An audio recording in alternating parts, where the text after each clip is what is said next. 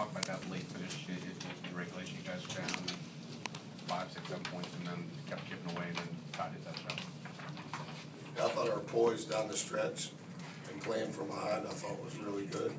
Maybe as good as it's been all year for us. Um,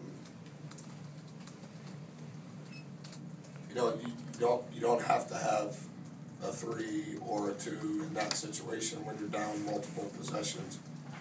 But you do need to play with efficiency and, and some sort of pace, and I thought our guys were able to execute, um, and make big shots. The, the one thing that I wanted to say, regardless of whatever the other questions are, um, I think, um, losing, uh, Josh Smith and losing, I don't know how to properly pronounce his last name, number fifty-five. I think that's really, really hard to overcome.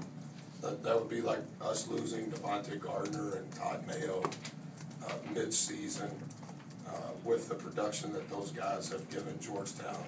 Um, I've always had great respect for, for Coach Thompson, but, um, you look at the stretch that they've been through, and I think the numbers are gonna bear it out. We'll see how it plays itself out, but it's becoming incredibly hard to win on the road in this league.